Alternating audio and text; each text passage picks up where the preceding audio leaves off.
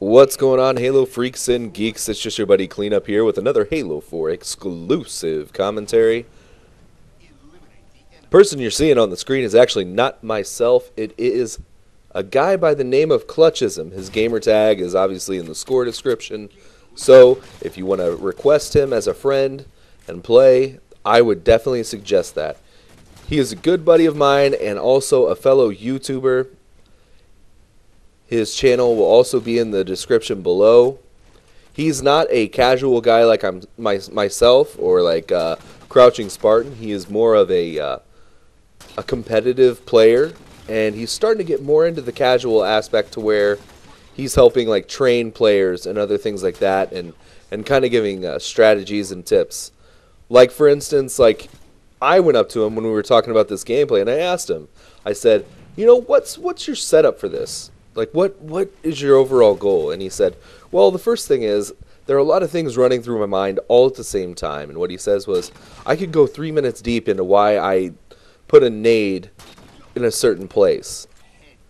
And, and I said, well, that's pretty cool. Like, are you really like that in depth with like your thought? And he says, yeah, it happens like a split second. You constantly have to think about like where they're spawning, where you can place nades, uh, when is the next uh, like ammo pickup and other things like that. Like when when can I pick up snipe? When can I pick up sword or shoddy, or you know scatter shot?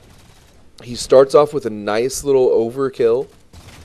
He even gets a little sticky swag from long distance. I really haven't seen a whole lot of long distance nade throws like that as far as sticks go since especially on this map since like Halo 2. You used to see it all the time with like Abused Goat or Nakamura and stuff like that. It was just really fun. And seeing that long distance stick from one tower to the next is just great. And he said his setup on this, sorry to get off topic, he said his setup on this is quite easy. He said, you know, all I really do is I have somebody on BR tower, somebody on snipe tower, and then the two people kind of in the middle and, and backing the other guys up. And what it does is it forces spawn into bottom blue and elbow. The elbow is like the ramp going up to snipe one. So it really forces them into uh, a dilly of a pickle, if I may. And uh, I'll tell you what, like he, he just has strategies for every map. On his channel, it, it's mostly clips and other things like that of him and his brother doing work.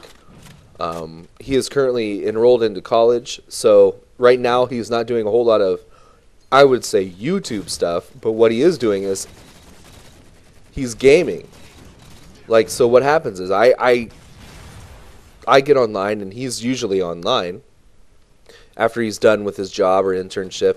And like when we play together, it like takes my game to a whole nother level because he's he's explaining, and he's constantly telling me like what to do, or whatever. He's not like demanding or anything like that. Don't get me wrong, but he just lets you know like before if you want to win, if you want to be able to take your game to the next level if you want to, uh, you know, figure out some of the thought process behind gaming, then, you know, he'll suggest things to you like, hey, you know, push red, or hey, you know, um, drop down low tower and then uh, back me up or whatever. He's not like demanding. He doesn't call you a scrub.